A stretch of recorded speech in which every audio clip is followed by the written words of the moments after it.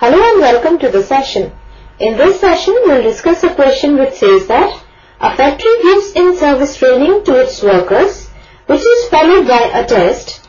It is considering whether it should terminate the services of any worker who does not do well in the test. The following data give the test scores and productivity made by 10 workers during a certain period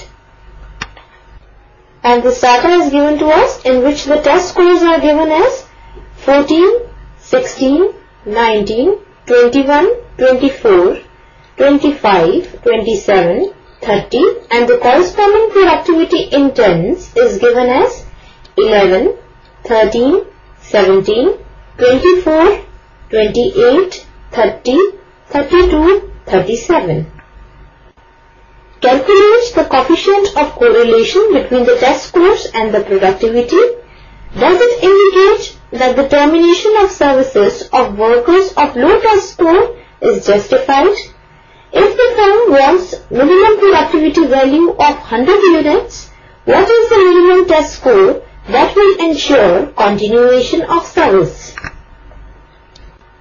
Now before starting the solution of this question, we should know some results and that are the regression equation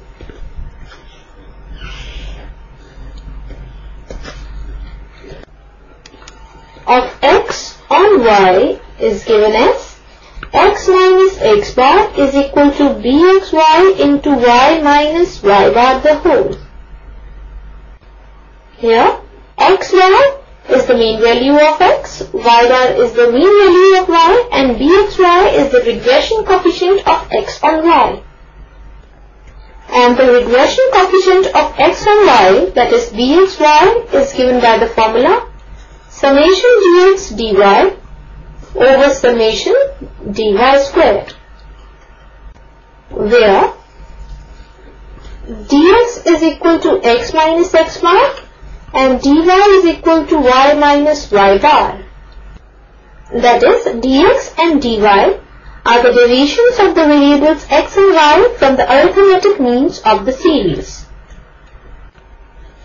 And r is equal to summation of dx into dy over square root of summation dx square into summation dy square.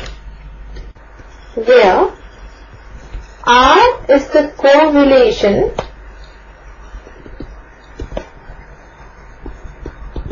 coefficient. Now these results will work out as a key idea for solving out this question. And now we will start with the solution. For this we will make the table for the given data that is, we will make the table for the test scores and the corresponding productivity in tens. Now let the test scores and productivity in tens be denoted by x and y respectively.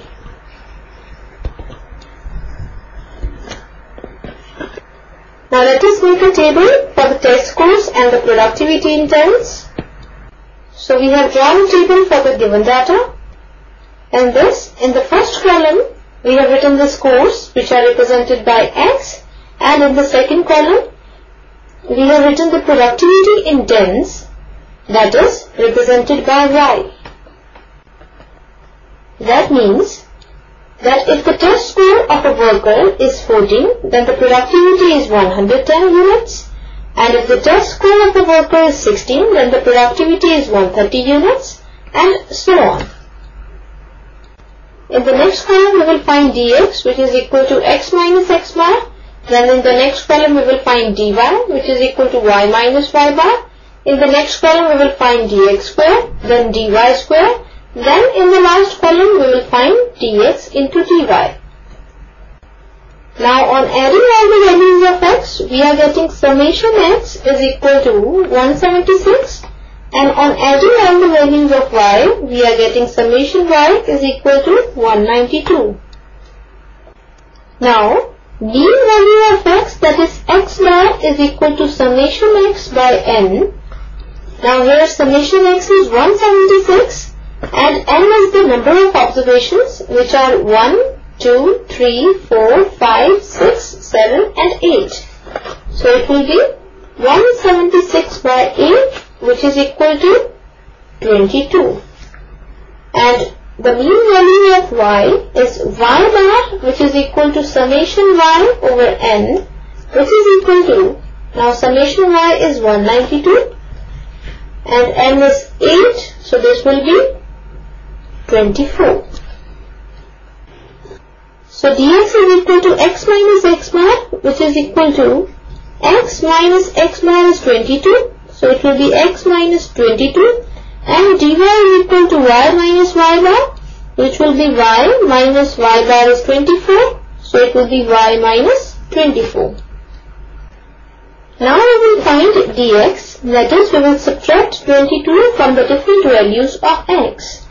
Now here x is 14 so 14 minus 22 is minus 8 then 16 minus 22 is minus 6 19 minus 22 is minus 3 21 minus 22 is minus 1 then 24 minus 22 is 2 25 minus 22 will give 3 27 minus 22 will give 5 and 30 minus 22 will give 8 now we will find dy which is equal to y minus 24 now here y is 11 so dy will be equal to 11 minus 24 which is minus 13. Then 13 minus 24 which is minus 11. Then 17 minus 24 is minus 7. 24 minus 24 is 0. 28 minus 24 is 4. 30 minus 24 is 6. 32 minus 24 is 8. And 37 minus 24 will give 13. Now in the next column we will find dx square that is we will square the different values of dx. So minus 8 square is 64, minus 6 square is 36, minus 3 square is 9, minus 1 square is 1, 2 square is 4, 3 square is 9, 5 square is 25 and 8 square is 64. And now we will find dy square that is, we will square different values of dy. Now minus 13 square is 169. Minus 11 square is 121. Minus 7 square is 49. 0 square is 0. 4 square is 16. 6 square is 36. 8 square is 64. And 13 square is 169. Now in the last column we will find dx into dy. That is, we will multiply different values of dx with different values of dy. Now minus 8 into minus 13 is 104. Minus 6 into minus 11 is 66. Minus 3 into minus 7 is 21. Minus 1 into 0 is 0. 2 into 4 is 8. 3 into 6 is 18. 5 into 8 is 40 and 8 into 13 is 104. Now on adding the different values of dx square, we are getting summation dx square is equal to 212. Then on adding different values of dy square, we are getting summation dy square is equal to 624. Then on adding the different values of dx into dy, we are getting summation of dx into dy is equal to 361. Now we have to calculate the coefficient of correlation between the test scores and the productivity. And then we have to check that does it indicate that the termination of services of workers of the low test score is justified or not? Now using this result which is given in the key idea, so the correlation coefficient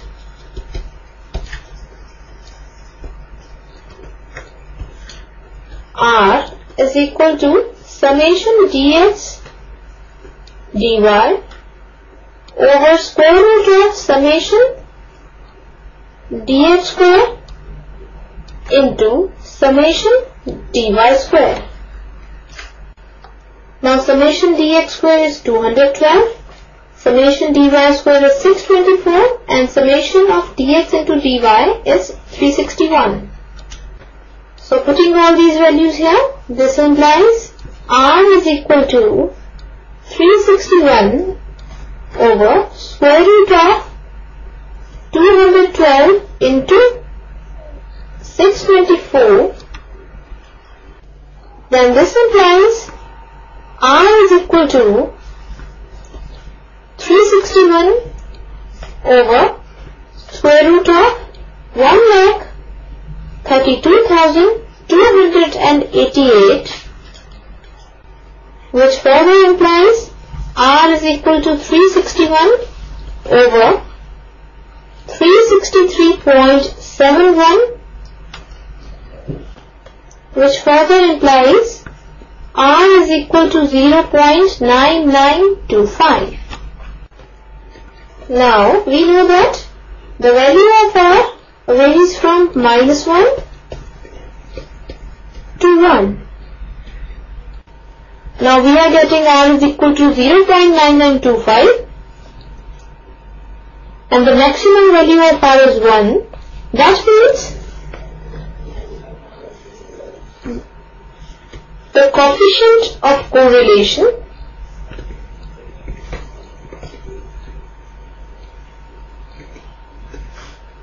that is R is very high and if the coefficient of correlation is high this means that there is a very high correlation between the scores and the productivity. This means that the worker with a low score is less productive and the worker with a high score is highly productive. Therefore, the proposal of terminating the services of workers of low test scores is justified. So here we can write, therefore, the proposal is justified.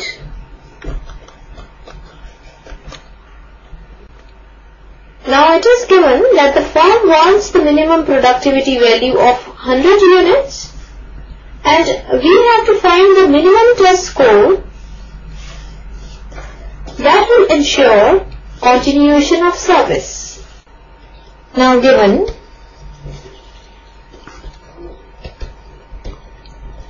the minimum productivity value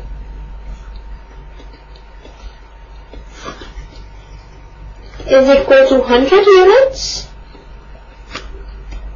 Now here we are taking the productivity in tens and it is denoted by Y.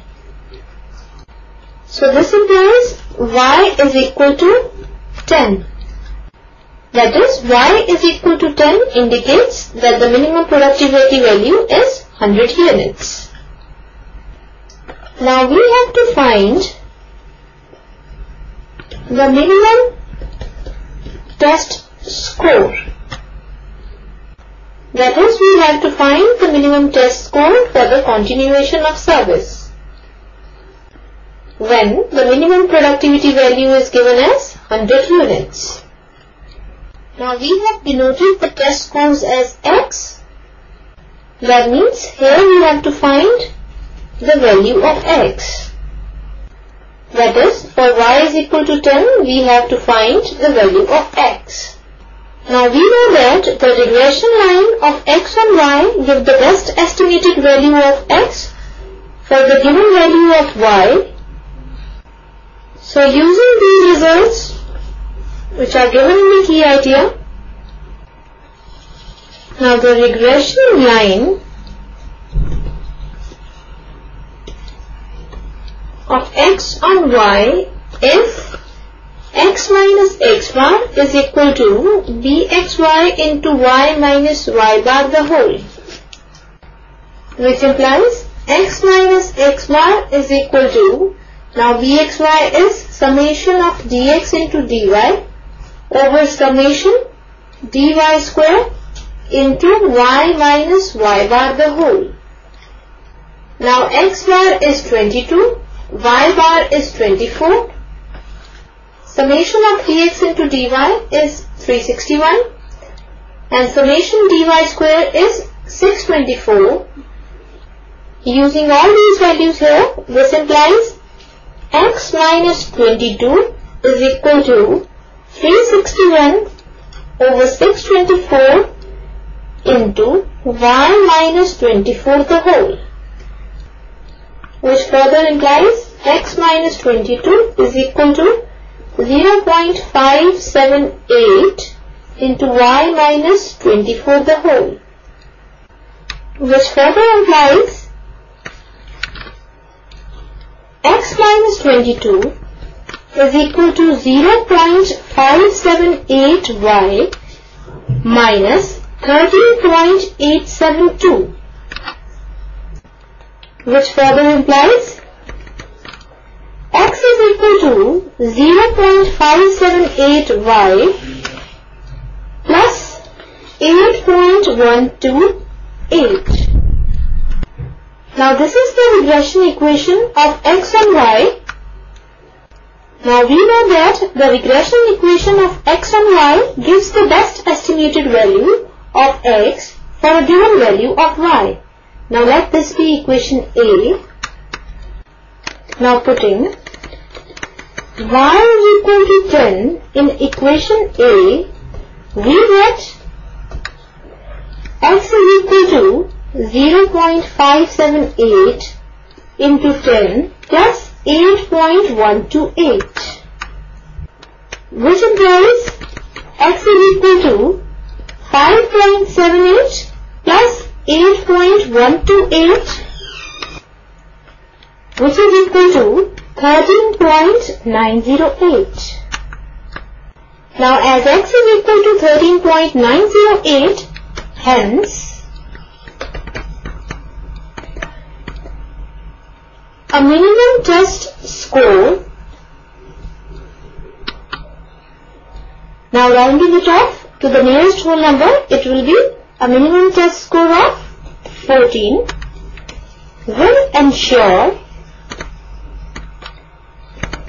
continuation of service. So this is the solution of the given question and that's all for this session. Hope you all have enjoyed the session.